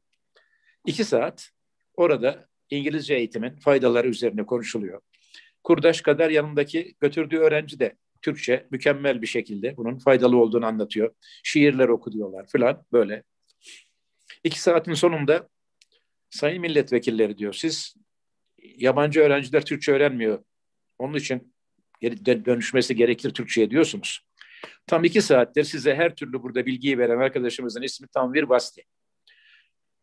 Ve kendisi Pakistanlıdır diyor. Onun üzerine hava bir anda değişiyor orada. Ve lisan kurtulmuş oluyor açıkçası. Ee, hazırlık okulu demin de bahsetmiştim. 1960'tan itibaren konuyor ve 61-62'de eğitime başlıyor hazırlık okulu olarak. E, başbakanlar burada hoca olarak görev yaptılar. Yani Süleyman Demirel 61-64 arasında bize inşaat mühendisliği bölümüne önce Water Resources Development, su kaynakları developmanı ve son sınıfta yani master sınıfında da Dams, Weirs, Conduits yani barajlar, kanallar, su yapıları dersi verdi. E, Turgut Özal da 61-64 yıllarında matematik dersleri veriyor. Özellikle idari bilimlere. Her ikisi de yedek subaylık kısmını e, hem planlama, devlet planlama teşkilatında hem Orta Doğu Teknik Üniversitesi'nde böyle e, görev yaparak devam etmişlerdir. Öğrenci sayımız neydi? 61-62 ders yıllarının sonunda 1025 kişiyiz. 1025. Yabancı sayısı 85. Kız öğrenci 218. 62-63'te 1274 ve 63-64'te de 2050 kişiyiz. Şimdi artık son fasılda şeyi söylemek istiyorum. Ne getirdi Orta Doğu Teknik Üniversitesi? Ne yenilik sağladı? Yani Türk yüksek eğitiminde yenilik getirdi diyoruz. Ne bunlar? Gerçekten çok büyük yenilikler getirdi. Türkiye'de ilk defa bütünüyle Amerika Birleşik Devletleri Devlet Üniversitesi modeline göre bir eğitim var. Pennsylvania Üniversitesi'nin sistemi olduğu gibi alındı. En önemli başarısı Türkiye'deki tabuların yıkılarak dünyanın çeşitli ülkelerinde, çeşitli üniversitelerden gelmiş genç elemanlara ünvanına bakılmaksızın görev verildi hoca olarak. Liyakata bakıldı, bilgiye bakıldı. Bunların çoğu hem devletin çok önemli görevlerindeler, genel müdür, genel müdür yardımcısı vesaire gibi. Hem yurt dışına gitmişler, çok iyi eğitim almışlar. Bir kısmı Almanya'da harp çıkmış. Harp çıkınca dönememişler. Amerika'ya gitmişler. Amerika'ya gitmişken doktor, master ve doktora yapmışlar. Tarık Somer bunlardan birisi. Amerika'ya bir türlü gidememiş. Mısır'a gitmiş. Mısır'dan vapurla, gemiyle Amerika'ya gitmiş. Ee, e, idari ilimler öyle. Yani o hocaların her biri e, hep bu tip eğitim almış insanlar. Bir kısmının ünvanı yok, bir kısmının mükemmel bilgisi, görgüsü var. Devlette görev almış. Bu çok büyük bir yenilik. Yani hem uygulamanın bilgisi geliyor, hem liyakat sahibi, işi bilen hocalar, dünyayı bilen hocalar Orta Doğu Teknik Üniversitesi'nde görev yapıyor. Çobanoğlu maden mühendisi. Fuat Çobanoğlu idari ilimleri kuran. Aynı şekilde Amerika'da, Amerika'da, Almanya'dan mecburen gidiyor Amerika'ya. Ekonomi doktorası yapıyor. Ve bizim idari ilimleri kuran hoca. Klasik kürsü sistemi yok. Yani diğer üniversiteler olduğu gibi kürsünün başına bir geç artık orada otur. Kimsenin gelişmesine müsaade etme. Böyle bir şey yok. Kürsü sistemi kesinlikle yok. Ders kitapları çeşitliliği var. Öyle ille de diğer üniversitelerde olduğu gibi hocaların hazırladığı notlar çoğaltılıp dağıtılıp işte her şey buradan ibarettir denmiyor. Bütün dünyaya açık. Bir konuda belki 20 tane kitap var. Dolayısıyla bir yere bağlı kalmıyorsunuz. Bilginiz, görgünüz dünyaya açık oluyor.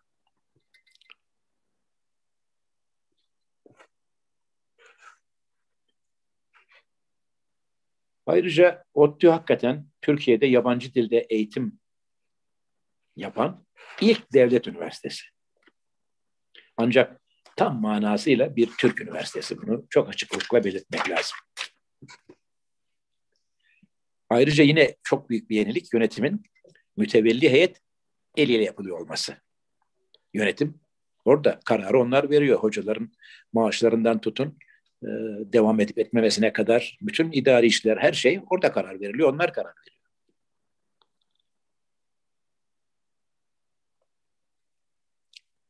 O zamana kadar Türkiye'de pek ne BS ne MS sistemi var.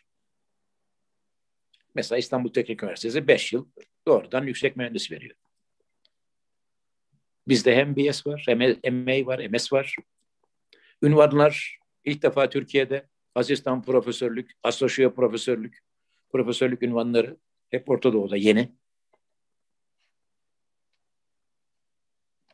Asistanlar ve genç yönetim elemanları hepsi yurt dışına gönderiliyor. Oralarda ekstra eğitim yapmaları sağlanıyor doktora ve doktora üstü. E, seçmeli ders alma imkanı var. Hiçbir yerde pek olmayan bir şey. Bir kısmı non-technical elective derdik. Yani mühendis olmamıza rağmen sosyal dersler, psikoloji, sosyoloji, ne bileyim e, ofis idaresi, tarih falan gibi dersler alırdık. Hem de kredili derslerdir bunlar. Derslerin kredileri farklıdır. Bazı dersin 8, bazısının 7, bazısının 6. Yani çok ilginç bir sistem. Ders notları öyle 60, 70, 80 değil. A, B, C, D, F. Hepsinin kat sayısı var. Şeyler e, başarısızlık olursa limited probation, arkadan general probation ve restricted probation var. Yani restricted probation'den de artık düzeltemezseniz atılmak durumunda kalıyorsunuz. Aksi halde bir takım dersleriniz azaltılıyor ve en azından daha az ders alarak sınıfa geçme imkanınız sağlanıyor. Ayrıca küçük sınıf ilkesi var. 20 kişilik, 25 kişilik, 30 kişilik sınıflar. Danışman hocalık sistemi, tutor diyoruz. Yani her öğrenci için bir bazı bir hoca 10 kişiye belki tutor. Yani gidip her türlü şeyi anlatabildiğiniz, yardım talep edebildiğiniz bir tutor var. İdari konularda. Ayrıca bütün hocaların belirli günlerde öğrencilerle görüşme imkanı var. Nerede görülmüş? Ne liselerde gördük öyle bir şey, ne üniversitelerde. Yani gidip hocaya bazı konular anlamadıysanız sorabiliyorsunuz. Sorunlarınız varsa görüşebiliyorsunuz. Her hocanın böyle bir görevi var. Ayrıca ilk defa kampüs tipi bir yerleşime var. O zamana kadar Türkiye'de olmayan bir şey. İşte Ankara'da biliyorsunuz. Fakültesi burada, siyasal burada, tıp fakültesi nerede, fen fakültesi. Kampüs tipi her şey bir arada olsun, koordine sağlansın ve nitekim örnek olmuştur diğer üniversitelere de. Mali özellik müthiş bir şeydir. Çok büyük gelişme sağlamıştır. Yani Orta Doğu Teknik Üniversitesi'ne tek rakam verilmiştir harcamak için. Bunu, bu ödeneği mütevelli heyet kendisi karar verir harcar ama her yıl Türkiye Büyük Millet Meclisi'nin e, plan bütçe komisyonuna gidilir hesap verilir. Ayrıca rektörün e, ille de profesör olması mecburiyeti yoktur. Nitekim Kurdaş profesör değildi. Yani kısaca çok büyük yenilikler getiren e, öğretim üyeleri ve öğrencilerin de ufkunu açan bir sistem getirmiştir Orta Doğu Teknik Üniversitesi. Peki kısaca bugün nedir? Bugün bu üniversite bu kadar imkanlarla nereye geldi? E bunu hepimiz biliyoruz ama kısaca söyleyeyim size iki dakika içinde. Bugün 45 bin kilometre kare, 45 bin dönüm, 45 bin dönüm, 45 kilometre bir yerimiz var. Bunun 32 kilometresi ormanlıktır. 130 bin mezunumuz var. 130 bin. 2400 civarında akademik personelimiz var. Öğrencimiz 23 bin, 24 bin lisans, 5 bin yüksek lisans, 3 bin üzerinde, 3500 üzerinde doktor öğrencimiz var. 98 100 civarında farklı ülkeden öğrencimiz var. 43 tane araştırma merkezimiz var. 430 tane eğitim ve araştırma laboratuvarımız var. Ve kısaca Türkiye'nin ilk teknokentini kurmuşuzdur. Ve en büyük teknokenttir. 360 civarında firma, 600 6700 civarında ARGE personeli ve 1400 civarında üniversiteyle işbirliği halinde yürütülen proje vardır. İşte Orta Doğu Teknik Üniversitesi böyle bir üniversitedir. Onun için diyorlar ki biz dünyayı değiştirebiliriz. Türkiye'yi de değiştirebiliriz. Nitekim rahmetli Kurdaş bir toplantıda dedi ki Mustafa Kemal Atatürk Türkiye'de ilk sanayileşmenin nüvesini kurmuştur. Ve çok önemli adımlar atmıştır. Ondan sonra epeyce bir boşluk olmuştur. Ama ikinci bir hamle çocuklar Orta Doğu Teknik Üniversitesi mezunları sayesinde olmuştur. İstanbul'da, Ankara'da, İzmir'de, Kayseri'de, Konya'da, Adana'da sanayi kuruluşlarının başına geçmişler ve çok büyük hamleler yapmışlardır demiş idi. Kısaca e, üniversiteyle ilgili kısım böyle. İsterseniz biraz da belki dernek ve e, daha sonraki günler için konuşabiliriz. Eğer başka şeyler varsa aklınızda onlarla da e, cevap verebilirim. Çok sağ olun hocam. Çok teşekkür ediyoruz. Ee, yani bütün bu anlattığınız e, bilgiler bizim tabii kitaplarda, e, belgelerde bulamayacağımız bizim için son derece önemli ve değerli bilgilerdi. Bize vaktinizi ayırdığınız için de çok teşekkür ediyoruz. Derneğin e, kuruluş tarihi olarak yani e, siz nasıl karar verdiniz? Çok kısaca hemen bir iki dakikada onları da alabilirsek derneğimizin de tarihini görmüş oluruz. 1965 65 yılı e, rahmetli Kurdaş yine bizim rahmetli arkadaşımız Yücel Özden'i çağırarak diyor ki arkadaşlarını topla derneği kurun. Bir dernek kurun çok önemli. Ben size para vereyim. Çıkarıp önemli bir miktar para veriyor. Üniversite bütçesinde. Hakikaten e, bir araya geldik. Önce Atatürk Bulvarı'nda bir pastanenin üstünde güzel bir yer kiraladık. Orada derneğin ilk adımını attık. O nişan Yüksel Dinçer rahmetlinin nişan orada yapıldı. Daha sonra İzmir Caddesi'nde bir yere taşındık. Ee, en sonunda Müdafaa Caddesi'nde e, güzel birinci katta bir yer. Burası hem yer olarak çok güzel hem geniş bir terası var. E, derneği kurmuş olduk. Tabii ben tam o sırada elektrik etütten Amerika'ya gönderildik. Keban ve Gökçekaya Barajı'nın nihai projesi için. İlk dernekte mecburen bulunamadık. Ama ondan sonraki bütün çalışmalarda özellikle e, rahmetli Rüştü Yüce ben ve Yücel Özden. Diğer son arkadaşlarımız da var ama ağırlıkla inşaat. Niye inşaat? Daha çok ilgi inşaat bölümünden geliyordu. Ee, çok az makine ve idari ilimlerden arkadaşlarımız da vardı ama inşaat ağırlıklı diyebilirim. 65'ten itibaren ayakta tuttuk derneği.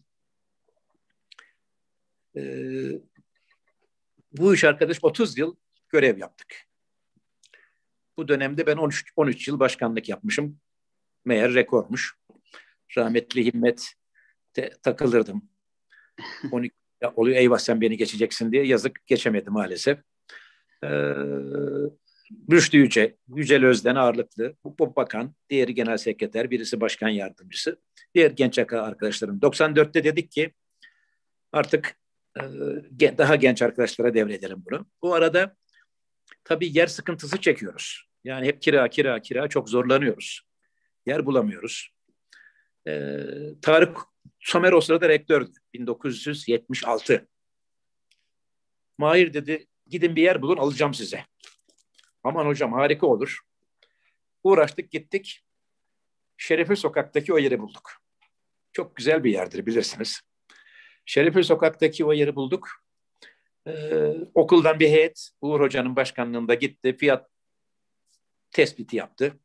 Demişler ki biz buna ancak arsa fiyatını alırız. O günkü şeylerle 800 bin lira civarında bir rakamdı. İki katlı güzel bir bina ve gayet güzel bahçesi var. Ama açamadık. Neden açamadık? O dönem mahalleler bölüm bölüm bazı grupların şeyi altında. Ee, kurtarılmış bölgeler var. Orası da onlardan birisi. Yani orayı biz açsak ertesi gün bomba yiyeceğimizi biliyoruz. Maalesef e, 1980'e kadar açamadık. Çok sıkıntılı yıllar onlar da biliyorsunuz. Yani 1971'den itibaren çok sıkıntılı dönem, çok sıkıntılı yıllar. Gece sokağa çıkamamalar, olaylar, öldürmeler, şunlar bunlar, büyük sıkıntılar. Türkiye'nin de geriye gittiği bir dönem her bakımdan. 1980'de ihtilalden sonra biz şey verdik, dilekçemizi. İlk kabul edilen dernek olduk. Ee, ve orada başladık. Arkadaşlarımızın da yardımıyla, o sıradaki müteahhit arkadaşlar, işte ne bileyim belirli yerlerdeki arkadaşların maddi desteğiyle hepimiz bir şeyler koyarak bütün içinin düzenini, eşyalarını, televizyonunu, ne varsa bahçeyi fevkalade güzel hale getirdik. Ve yani demek ki 20 yıla yakın orada e, hizmet yaptık. 20 yıla yakın e, çok güzel bahçesi ve üstü, yemek memek her türlü düzen orada kurduk. Başa baş bir sistem. E, ancak 79'da işte 99'da bu taraf yapılınca ana bina olarak buraya geçmiş olduk. E, ama dernek dediğim gibi 65'ten itibaren varlığını her zaman e, devam ettirdi. Her zaman devam ettirdi. Üniversiteyle ilgim benim bir de şöyle oldu. 69 ee, yılında üniversitede şehircilik bölümünde ulaştırma dersi veren Kanadalı bir hoca. Ben de o sırada Devlet Planlama Teşkilatı'nda Ulaştırma Koordinasyon İdaresi diye bir idare, onun başındayım. Ee, bana geliyor, işte bazı bilgiler alıyor, oturuyoruz, konuşuyoruz filan. Ee, sonra dedi ki, ben gidiyorum, benim şeyim bitti. OECD'den, OECD kanalıyla gelmiş. Bu dersi sen ver. Ya dur falan derken üniversitede konuşmuş. Ben ondan sonra 69 yılından itibaren 78'e kadar o sırada bir yedek subaylık dönemi hariç bir yıl kadar, bir yıl, bir buçuk yıl e, şehircilik bölümüne ulaştırma planlaması, transportation planning dersi verdim. E, dernek olarak da Üniversiteyle ilişkimizi hiçbir zaman kesmedik. Ee, rektörlerle her zaman iyi ilişkiler kurduk. Onlar da ilgi gösterdiler. Dediğim gibi işte Tarık Sömer Hoca, Allah razı olsun, ee, bize o şeyi almıştır yani. Ee, Şerefli Sokağı. Dolayısıyla derneğin kısaca şeyi de bu. Yani e, mazisi bu diye adlandırabilirim. Çok teşekkürler hocam. Ee, böylece derneğin de nasıl kurulduğunu, e, nerelerde, ne şekilde e, devam edip e, buralara geldiğini görmüş olduk. Aynı zamanda e, hem üniversitemizin tarihini başından, kuruluşundan itibaren dinlerken bir taraftan da ülkedeki hani e, gelişmeleri de e, görmüş olduk. E, tarih tekerrürden ibaret derler. E, geçmişte bazı anlattığınız e, olaylar e, günümüzde de ba- bazılarına rastlayabiliyoruz. Bunlardan da ders çıkarmak gerekiyor. Ee, çok keyifli bir sohbetti benim için. Umarım bütün izleyicilerimiz de e, aynı şekilde keyif almıştır. Bize ayırdığınız vakitten dolayı çok teşekkür ediyoruz. Ee, bizlere hem ışık tuttunuz hem de bilgilendirdiniz. Çok teşekkürler tekrar geldiğiniz için. Ee, izleyicilerimize de ayrıca teşekkür ediyorum. Bizleri izledikleri, vakit ayırdıkları için. Sağ olun. Çok teşekkür ederim. Seve, memnuniyetle, şerefle yaptım bu görevi. Ben de hepinize teşekkür ediyorum. Hem de şöyle bir geçmişte gezinti yapmış olduk. Çok memnun oldum. Desteklerinize çok teşekkür ediyorum hepinize. Çok sağ olun hocam. Biz teşekkür ediyoruz. İyi akşamlar diliyorum. Sağ olun, var olun.